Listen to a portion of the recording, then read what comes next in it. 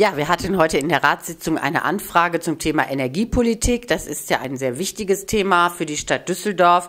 Nicht nur, weil wir hier ein ganz modernes Kraftwerk mit den Stadtwerken bauen, sondern natürlich auch aufgrund unserer Klimaschutzziele.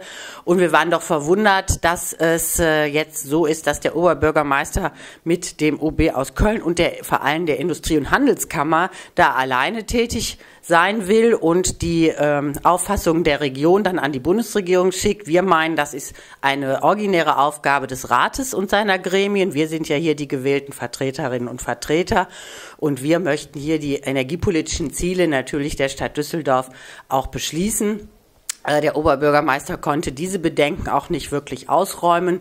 Es gibt zwar Gremien, die sich hiermit befassen, aber das sind alles nur Anhörungsgremien. Also wir werden da weiter am Ball bleiben und wir möchten hier eine grüne, innovative und klimafreundliche Energiepolitik.